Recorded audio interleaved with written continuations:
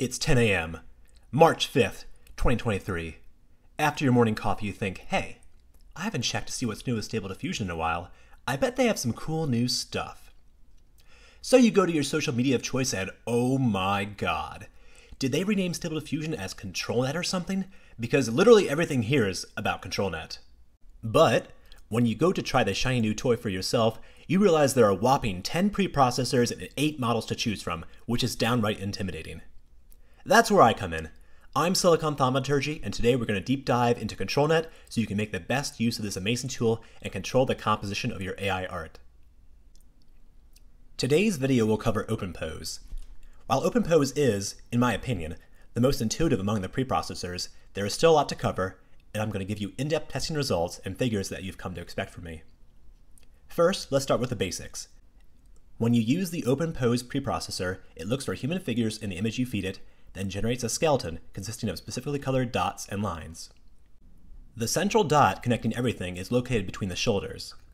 Above it, small branching lines show the location of the eyes and ears.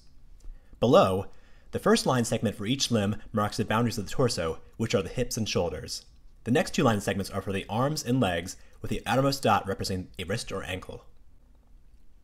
Unfortunately, the version of OpenPose used in ControlNet does not incorporate hand or foot positioning, which is one of its weaknesses. So if you want precise hand position in your image, you'll have to use multi-controlnet to get it. OpenPose also does not convey any information about the background or any non-human objects, which can be either a blessing or curse, depending on what you're trying to do. For this, you can either try to use your prompt to specify these things in the image, or use multi-controlnet if you're looking for something very specific. Naturally, it wasn't enough for me just to say that OpenPose makes skeletons based on human figures. I mean, what's the fun in letting something work when you can push it to limit and see where it breaks? First, let's talk about the most common case, partial human figures. When OpenPose attempts to identify a human, it identifies it based on the points, not the lines. It starts from the central point between the shoulders and works its way out. If a point is outside the frame, OpenPose will guess where the next point is. However, any further points attached to that one will not be detected, regardless of whether they're in the frame or not. For example, if the elbow is outside the frame, then the wrist will not be detected, even if it is within the picture. Since all other points are connected to the point between the shoulders, OpenPose will not detect anything if the subject's shoulders are not in the picture. Next, I wanted to figure out how small the figure OpenPose could pick up. But instead, I decided to take a walk through a tranquil meadow. Just kidding. OpenPose continued to pick up the figure, but with somewhat degraded accuracy until the figure was shrunk to 220 pixels, or a little bit over 20% of the total image height. I would guess that the 20% of the image height is more important than the number of pixels here. I was curious if OpenPose would have trouble with toddlers and babies because their heads are much larger relative to their body and limbs compared to adults. Realistic depictions of both toddlers and babies worked fine, so you should have no problem detecting people of any age with OpenPose. But what if you want to use OpenPose on your cat, Sir Fluffykins? Well, unfortunately, all the animals I tested, including dogs, cats, and monkeys, could not be detected by OpenPose, so you'll have to use another model for your pet. Interestingly, OpenPose could also not detect blocky humanoid robots. On the other hand, demi-humans such as mermaids, harpies, and minotaurs worked well, though occasionally they lost the end of their limbs during detection. For centaurs, only the front set of legs was detected, and it did not match the actual horse's legs, so it looks like it assumed that the body was actually the leg instead. Finally, I tested a variety of cartoon styles to see what worked. Anime generally worked pretty well, and some Futurama characters were detected also. Everything less realistic like Powerpuff Girls and SpongeBob did not work. Weight, along with guidance, are the two critical parameters for ControlNet. They both determine how much influence the base image has on the output, but in different ways. Guidance is what portion of the steps for the image generation have the ControlNet image used for them. Even when guidance is set to zero, there is still some impact on the final image compared to an image generation without ControlNet. I interpret this to mean that ControlNet will always be used for at least one step. In contrast, weight is how strongly the map is used when generating the image.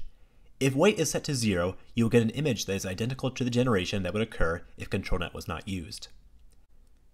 Like all ControlNet models, adherence to the map, in this case the OpenPose skeleton, is dependent on the particular values of weight and guidance. Setting lower values gives the AI more flexibility to modify the pose, which can make it look more natural in some cases. If weight and guidance are too low, you won't get the particular pose you're looking for.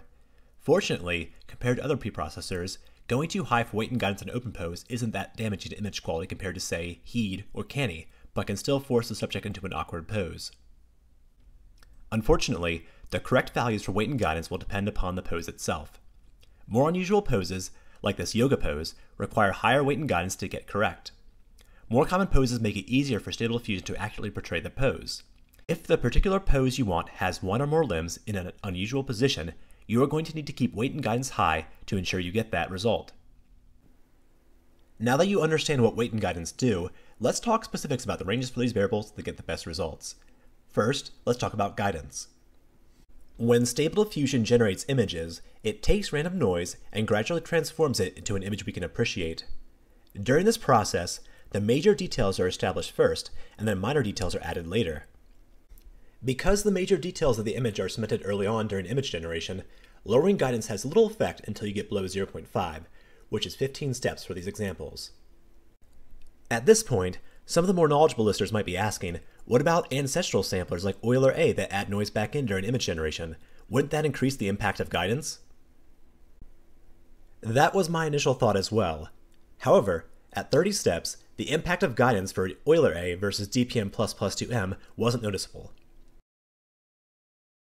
Then I thought, maybe if it was 150 steps instead, it would make a difference.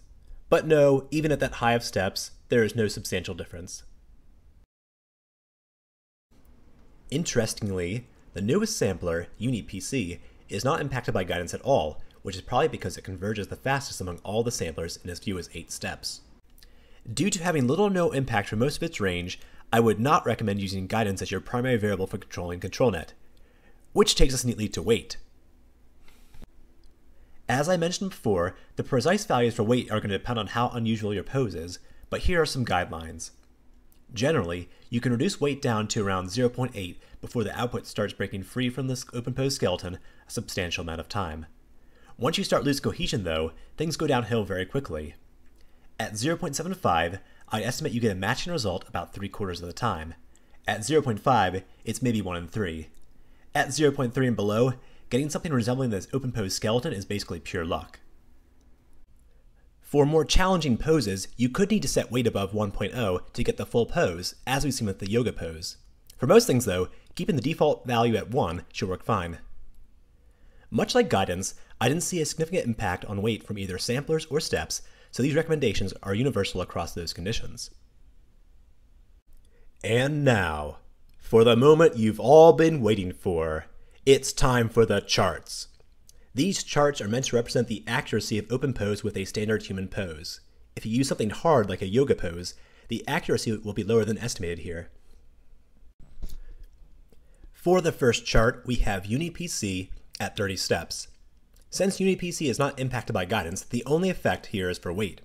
You should be fine until around 0.8, with accuracy falling off until 0.3, after which it is basically pure luck. This next chart is for all the samplers except UniPC at 30 steps. At a guidance of 0.5 or above, the chart is identical to UniPC chart because guidance really isn't a factor at these levels. Once again, accuracy starts being lost below weights of 0.8 and open pose is basically useless below 0.3. When guidance is lower than 0.5, you start to see a decrease in accuracy as well. 0.4 to 0.3 can be hit or miss, and at 0.2, open pose is really going to start to struggle. Any lower than that is going to be pure luck. Now that we've established ranges for weight and guidance, how do we make use of this? First, I would recommend keeping guidance and weight at 1 initially to see if you get decent results. I would run batch counts of at least 4 so you aren't relying on the luck of a single seed to make this determination. If you aren't getting the pose you want, bump up the weight even higher.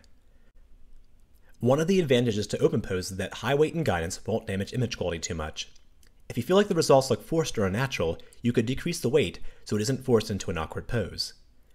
I would only touch guidance at the very end to fine tune the image that you like.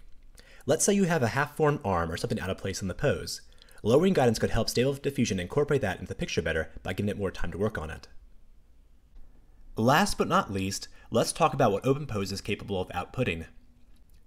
Basically, you can get anything that has a humanoid form to work with OpenPose, whether that is babies, aliens, or Optimus Prime. When your prompt does not include a humanoid entity, OpenPose begins to struggle.